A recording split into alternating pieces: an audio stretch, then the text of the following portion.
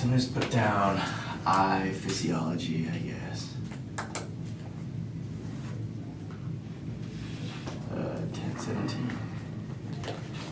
So this is the, that pretty much it? You just want to go over like the, Um, yeah. just, just to start off, just the retinal, is that your question? Yeah, basically, just because we, I mean, we talked about that a little bit in one session, but I didn't really think we went over it that much.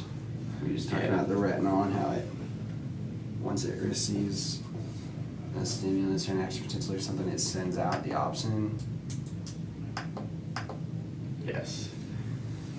So So- opsin cycle or something. I don't know. Yeah.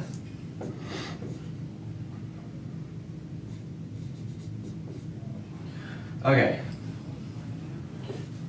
So, you, so we're basically you, you just want to focus on this retinal. And what happens when light hits it? Is it becomes straightened, right? The bonds change, mm-hmm. and so it goes to. This is what kind of formation is it? Is it right here? Cis or trans? Mm-hmm. Isn't it in the trans right now?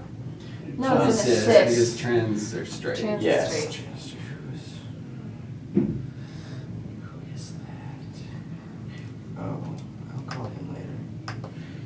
Okay, yeah, so basically all you know is that it starts in the cis form, cis bond, and then when the light hits it, it causes a, a chemical Change. change, so then it becomes straight, and this is trans. Okay.